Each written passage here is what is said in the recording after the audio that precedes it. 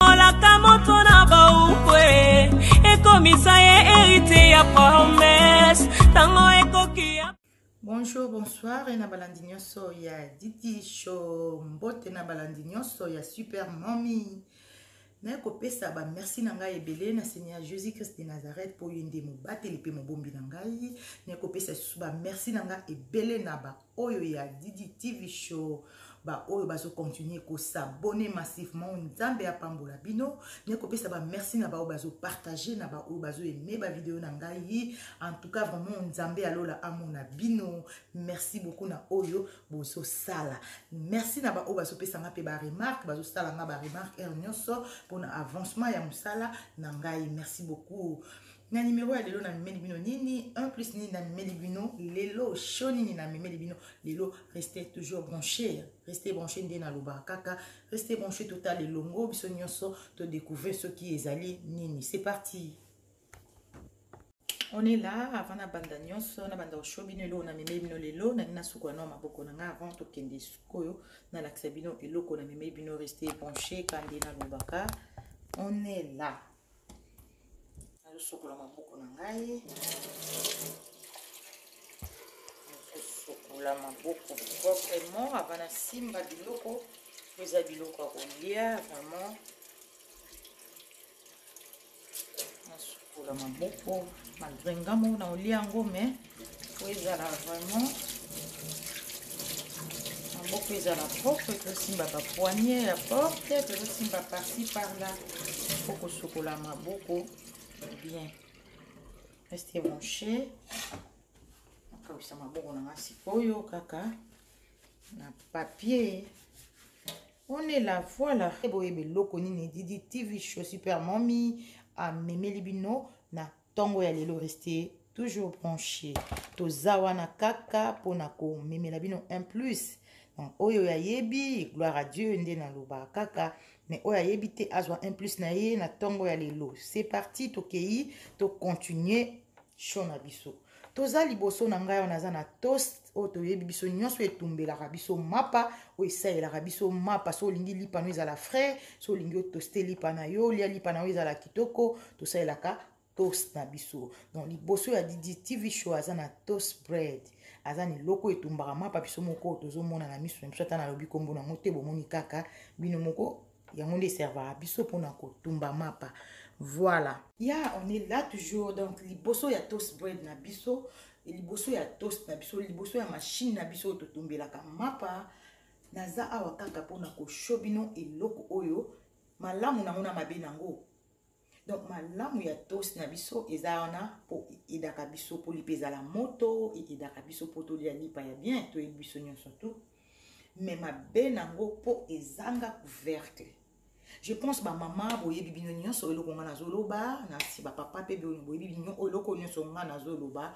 na journée ya lelo toast bread na biso ezalaka na couvercle te toyebi yango biso nyonso ke toast bread na biso ezalaka na couvercle te totikaka yango boye des fois eloko na ye na show lelo vraiment soki soki okolinga ozalaka na habitude ya kokangaka toast na yo naza na serviette awa nazolakisa exemple ya serviette na biso ozwi serviette noni osombi serviette na oyo ya sika ya propre oyo ekoki kobanda kokanga toast na yo makambo super mom ya mona yango nde epuse ye aya kokabola un plus oyo na baninga naya kokabola yango na bato nyonso oyo bayebaki te bayeba bazwa mpe un plus na bango na kati ya video oyo toast na biso ezalaka nango na couvercle te tellement ezalaka na couvercle te bamama na nga eza très dangereux mpo toyebi te bainsecte nini ekoki kokota na kati ya toast toyaka kaka ozwi lipa okotisi otumbi lipa oye ozwi lipa okotisi otumbi me okose rendre compte te na kati eza nini gloire adie na bango bachekaka na kati oye okoti ocheke na kati otali ah, eza nde nini na kati so omoni mwa salite oklini yango na kati opopoli mais ba oyo ba chika hango te il y a des gens oyo bazaka na tongo la muke apprécier ya tumbili pana ya kei surtout batani sala mais oyebi te nini eza na kati super mommy oyo ye amona na kati yango alinga partager na bandeko lelo na mona déjà insecte na kati ya tos na ngai panda ba ete boyebi bien ete nde ba insecte ezaka na bandako ekotaka na bafenetre deja namona insecte moko na kati ya tosi na ngai bamama na ngai mpo na banda kofinika yango te mpo na banda kozwa soin yango na kati me na banda kocouvrir yango te na, na ndenge nakóma na idee ya kozala na serviette en plus kokanga tosi na biso ndenge nakangi oyo il faut ozala na habitude ya kokanga yango na pokwa pendant la journée okoki kotika mais na pokwa okangi serviette na yo boye tosi na yo elalaka boye tosi na yo elali boye okangi yango ndenge super momi azolakisa soki tosi no ekangami boye antuka inserte ekota ndene ata yo moko mama na nga inserte ya oluka nini na tosi oyo bakangi boye donc mashini na yo ya mapa okangi yango boye calmement insecte kokota te mpo madusu nyonso eza ya kokanga reste branche okangi madusu na yo nyonso tu oza na problème te oya na ntongo nde tokendaka misala nde tobimaka na ntongo wana oye directement non ofongoli yango otumbi lipa na yo pas de problème problème mosusu naza nango ya grave wana eza grave vraiment tos na biso eza libende tobosana te eh? lelo banoir tokomobela bacancer bamaladi ebeleebele na banzoto tose rendre compte te ke tosalela métal trop tosalela bamicrone tosalela baoyo batosi oyo mais sikoyo fo yo moko mpe foyeba mpona koevite bagui wana parce que eza libende eh? eza libende kaka nde tonikaka bapalete na biso ya bafour kaka nde mpe fo ozwa soin ya oyo mais oyo sikoyo mpo tos ozwa soin nango na kati ezala difficilement mpo mabende oyo batyela biso na kati ya tos elongwaka te bamabende elongwaka te ekangama mpenza makasi donc tos eyedaka biso kaka biso olingi osala cleaning na yo ya tos ifo olongola ovide basalite oyo ezalaka na nsima eloko na biso oyo ngai nazolongola yango nde esalaka ke tosi na biso ezala nettoye tonettoyaka yango kaka tolongoli eloko oyo opupoli basalite ya mapa oye oremettre yango lisusu mai na kati ya mabende wana tosalaka nettoyage na yango te mpo ekangama makasi teme ekangama makasi moye tosala nettoyage na yango ezalaka te yango lelo super momi aye mpo aya kosho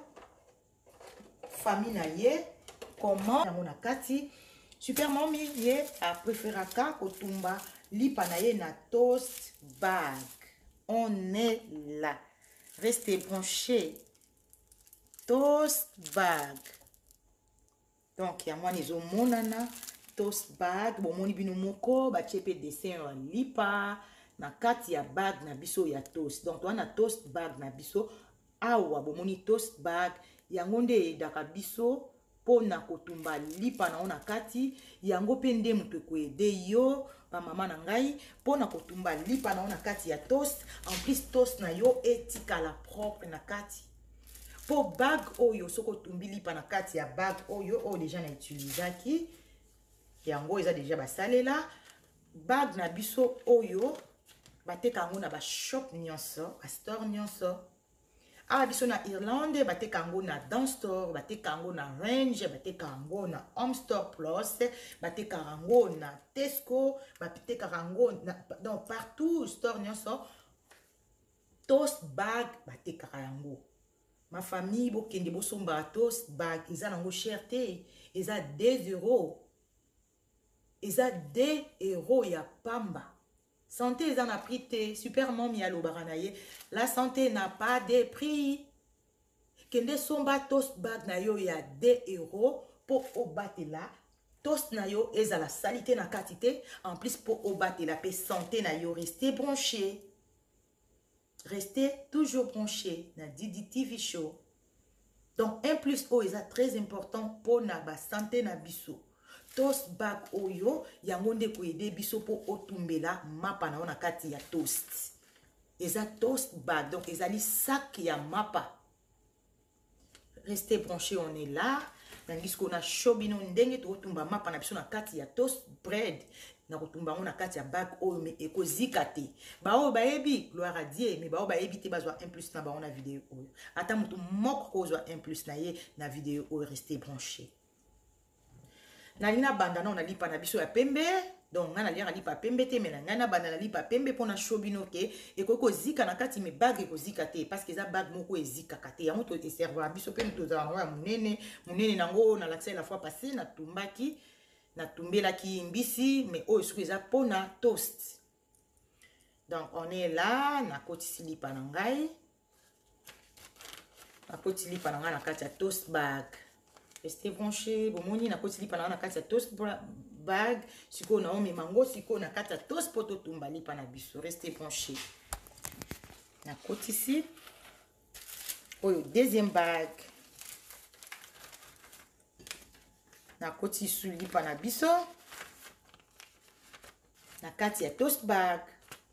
natie sikoyo na kati ya tos na biso este bonche nafongoli moto na nga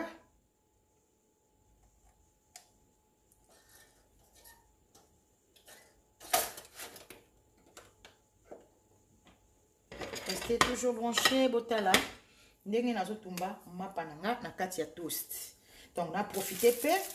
kotumba oyo mosusu ya brown mpo oyo nde na nazolia donc naza lisusu na toast bread na ngai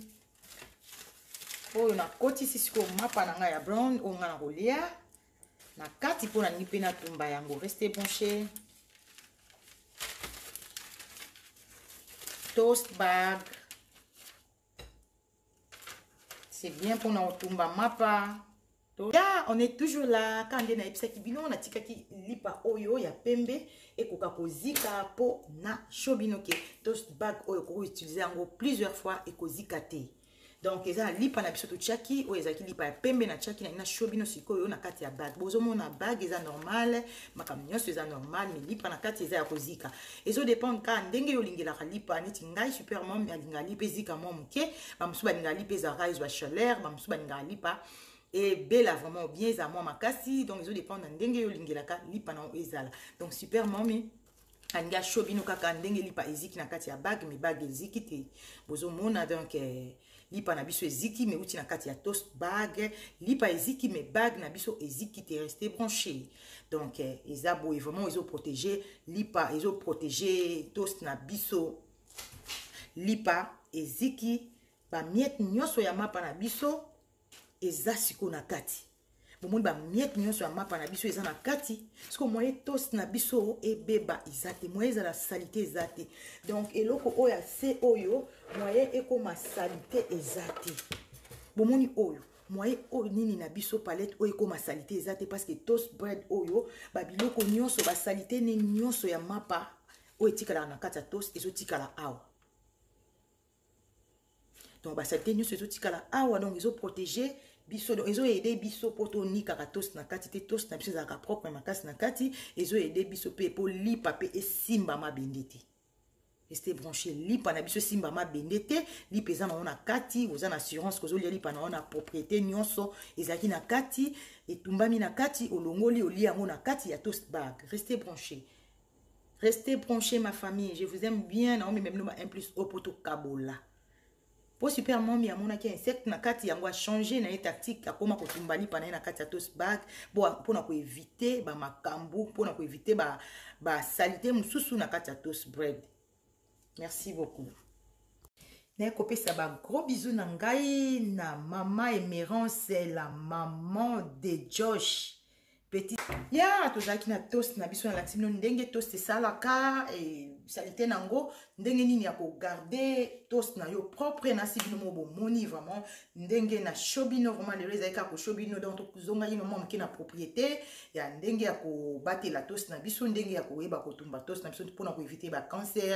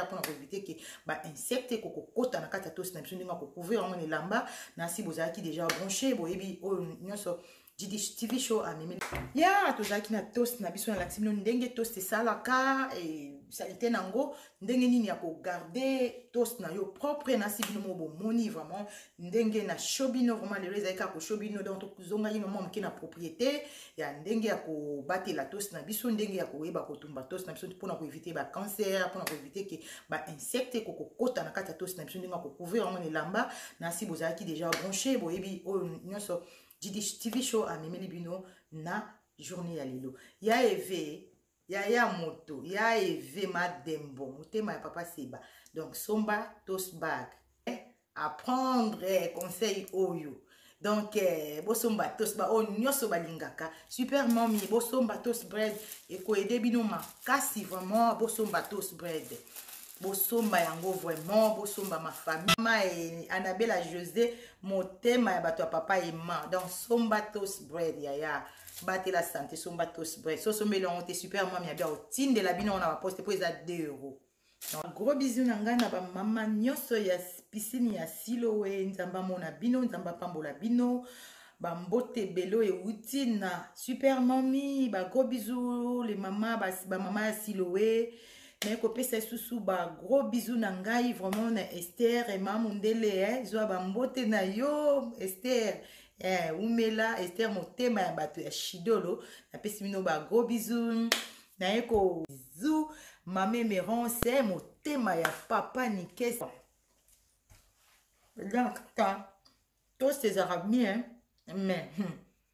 so olandi te nde super mami alobi hmm, osala nde osala te vraiment olia bainsecte olia babiloko ya mabe na kati okozala mpe na temps te ya konetoye tos na yo na kati mais so osali tos bag na yo ozala tos nio etikala propre basalite nyonso ya mapa ebanda otikala sikoyo na kati ya tos bag na yo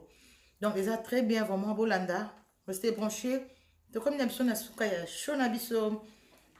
Restez branchés, vous continuez à liker, à aimer, pourquoi pas, vous continuez à s'abonner massivement na kati ya chaîne na biso Didi TV show bokozala dessus te na ba show kaka un plus super mami amimaka un plus ebele te moko kaka à prendre ou à laisser